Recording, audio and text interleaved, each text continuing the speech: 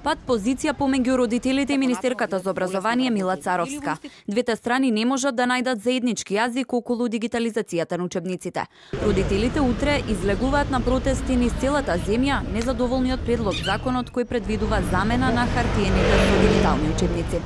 Целта на оваа наша заедничка мисија е покренување на граѓанска иницијатива за распишување на референдум против законот. Согласно Уставот и законите го имаме правото за непосредно изјаснување и одлучување, односно покренување на иницијатива за распишување на референдум против закон. Министерката Мила Царовска не попушта. Родителите бараат да има настави учебници, а тоа веќе го има. Дигитализацијата ќе се спроведува етапно од следната учебна година. Главно барањата се однесуваат на враќање на етика на религии, тоа е изборен предмет и сега, значи дека веќе постоен.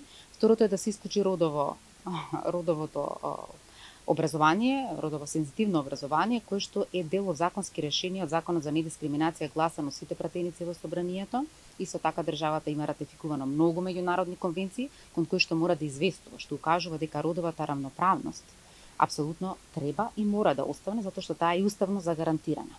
А, други барања специфични немаше заради тоа што велиме да има учебници и настава да има. Настава има, учебници има. Од СДСМ обвинува дека за утрешните протести стои ВМРО ДПМН.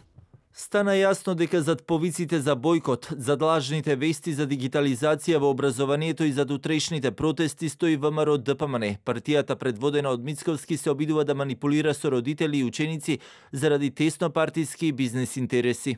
Зад законот за учебници застана 40 граѓански организации и здруженија која поздравија реформата.